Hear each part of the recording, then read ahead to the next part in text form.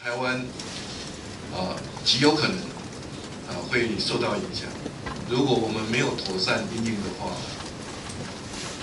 那因此呢，在今天的会议里面呢，在做三点指示。第一个就是加强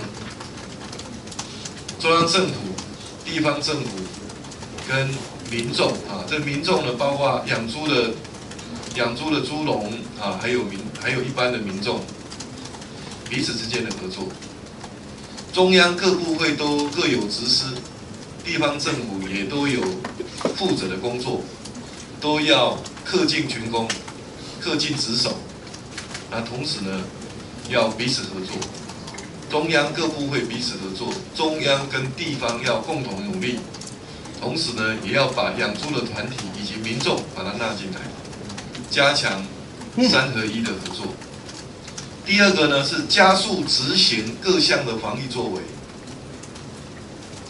我们从刚刚啊跟各地方政府的通讯里面可以看得出来，啊地方政府目前呢对整个非洲猪瘟的防疫工作尚未进入状况，啊，遑论呢啊就是应变中心都还没有开设。演习的时间也还没有还没有定，这个灾害应变中心，地方政府有些已经开设，有些即将开设，有些是还没有决定日期要开设。可是呢，演习的部分是没有一个县市已经决定的时间、地点跟演习的内容。啊，所以第二点的提示是要加速执行。各项防疫工作的作为，最好的检验就是演习。防疫视同作战，作战要成功，势必要演习。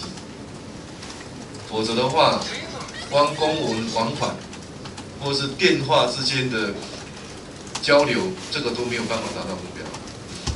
那第三点呢？第三点提示就是加大防疫面的作为。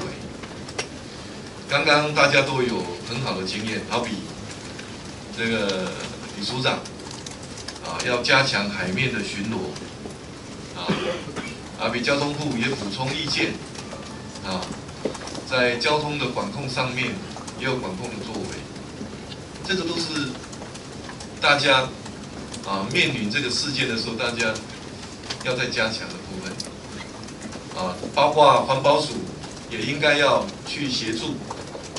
这个从中国这个海漂过来的垃圾，要怎么样协助他尽速的去处理？如果在垃圾堆里面有发现病死猪，或者是病死猪肉，那还好。那如果没有发现的，所以我们那个垃圾的处理啊，要尽速的帮助金门县、连江县要迅速的处理掉。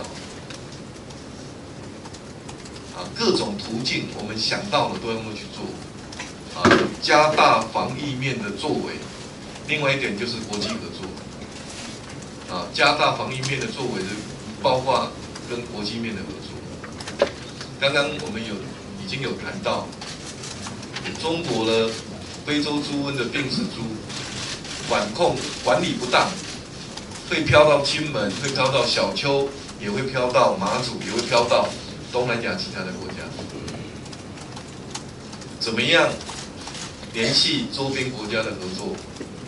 那同时呢，啊，中国这个时候疫情也应该要公开，寻求周边国家共同协助，一起来面对非洲猪瘟。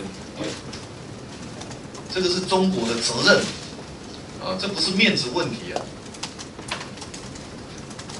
应该要开诚布公的，根据国际规范，把疫情公开，把你的防疫作为公开，让周边的国家、让国际社会可以来协助，共同面对这一场非洲猪瘟。